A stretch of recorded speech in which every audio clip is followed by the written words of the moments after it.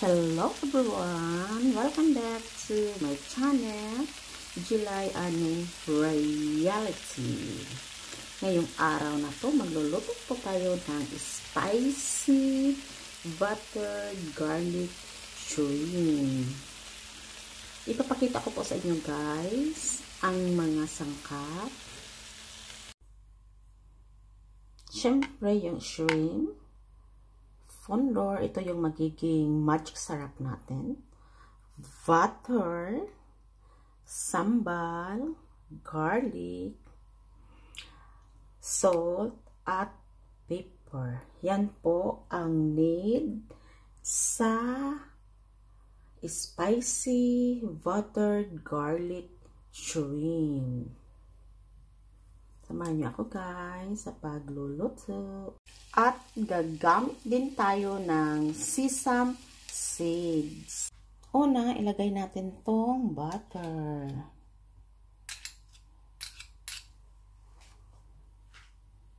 Pag mainit na siya, isunod natin tong uwang. Garlic.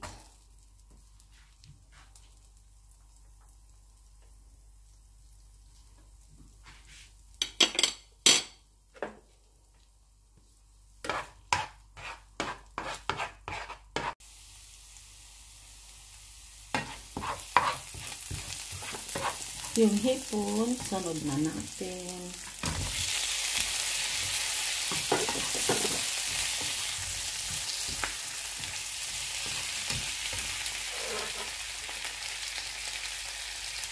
Kunting asin.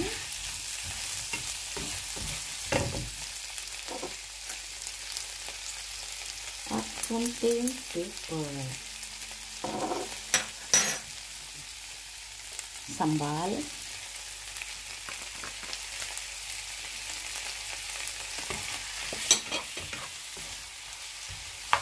Yan, halo lang tayo ng halo ito.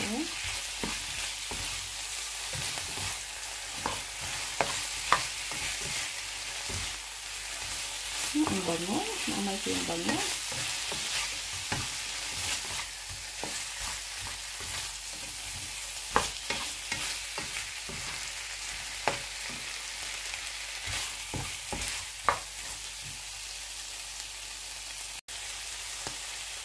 Next, isunod natin itong sesame seeds.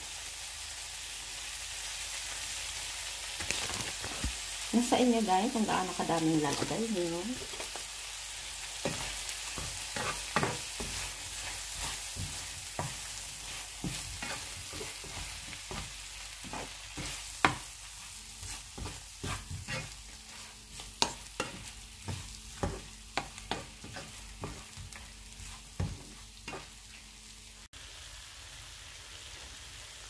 My homemade spicy